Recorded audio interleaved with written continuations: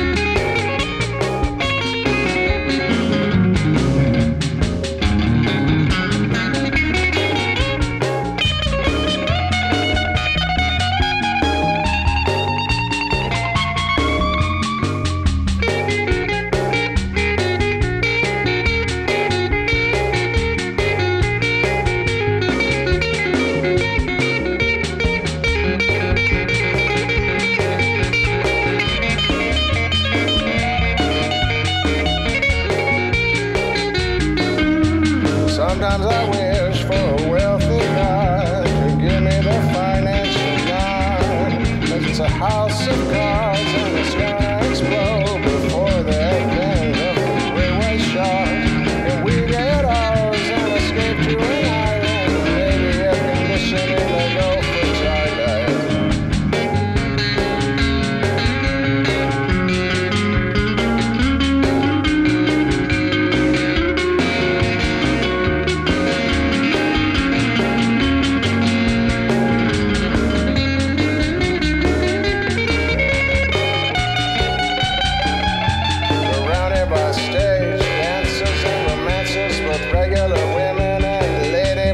dances and